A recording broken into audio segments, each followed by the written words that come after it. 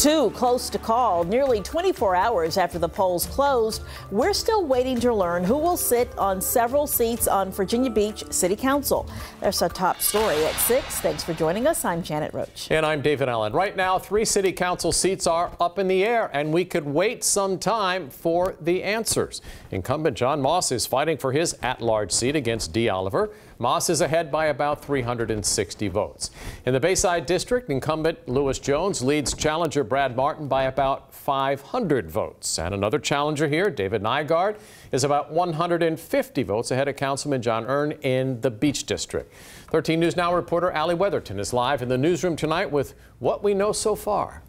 Well, David, we know these are extremely tight races, and I talked to one candidate who believes he already won, but it's not over just yet. Right now, you believe that you won.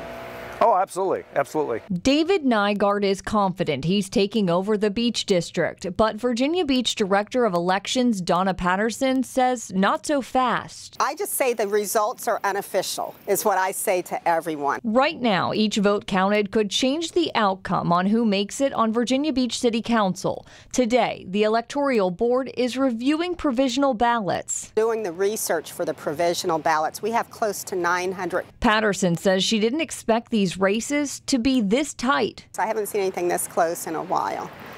Or ever. John Moss and Dee Oliver are only 362 votes apart.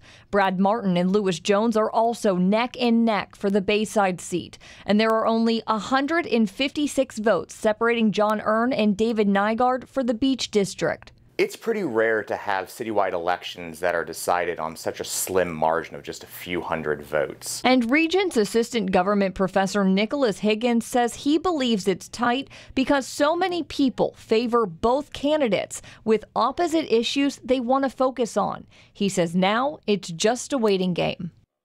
And Patterson says the deadline to get all the results to the state is by Tuesday. She says right now they don't know if there will be any recounts. In the newsroom, Ali Weatherton, 13 News Now.